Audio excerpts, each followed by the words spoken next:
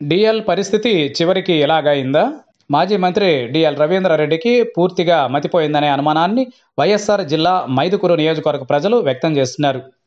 గతంలో ఈయన ఆ నియోజకవర్గం నుంచి ఐదారు సార్లు ప్రాతినిధ్యం వహించారు. కాంగ్రెస్ హయాంలో మంత్రిగా కూడా పనిచేశారు. ఆంధ్రప్రదేశ్ విభజనతో మాజీ మంత్రి డిఎల్ రాజకీయ భవిష్యత్తు అంధకారంలో పడింది. రెండు వేల పద్నాలుగులో టీడీపీ అభ్యర్థి పుట్ట సుధాకర్ యాదవ్కు మద్దతు ప్రకటించారు. మైదుకూరులో డిఎల్ రవీంద్రారెడ్డి మాటను మన్నించి ఓట్లు వేసే ప్రజానీకం లేరని అప్పుడు అర్థమైంది. ఆ ఎన్నికలలో మైదుకూరులో టీడీపీ ఓడిపోయింది. టీడీపీ అధికారులకు వచ్చినప్పటికీ డిఎల్ను ఏ ఒక్కరూ పట్టించుకోలేదు. దీంతో టీడీపీపై కోపాన్ని పెంచుకున్నారు. అప్పటి వరకు వైసీపీని విమర్శిస్తున్న డిఎల్ ఎన్నెన్నో తంటాలు పడి ఆ పార్టీలో చేరారు. గత ఎన్నికలలో వైసీపీకి మద్దతు ప్రకటించారు. వైసీపీ అధికారంలోకి వచ్చినప్పటికీ డిఎల్ను ఎవరు పట్టించుకోలేదు. దీంతో వైసీపీతో పాటు ముఖ్యమంత్రి వైఎస్ జగన్పై కోపాన్ని పెంచుకున్నారు. ఎన్నికల సీజన్ కావడంతో రాజకీయ ఉనికి కోసం డిఎల్ తహతహలాడుతున్నారు.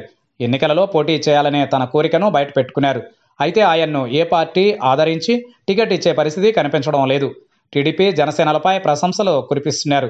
తాజాగా డిఎల్ మీడియా అటెన్షన్ కోసం ఎప్పట్లాగే వైసీపీపై ఘాటు వ్యాఖ్యలు చేశారు. గత ఎన్నికలలో వైఎస్ జగన్కు ఓటు వేసినందుకు తన చెప్పుతో తానే కొట్టుకోవాలనే దురదృష్టకర పరిస్థితి ఏర్పడిందని సంచలన కామెంట్స్ చేశారు.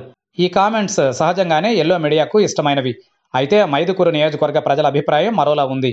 డిఎల్ లాంటి నాయకుడిని దగ్గరికి తీసుకునే పార్టీలు తమ చెప్పుతో తాము కొట్టుకోవాల్సి వస్తుందని మైదుకూరు ప్రజానికం హెచ్చరిస్తోంది.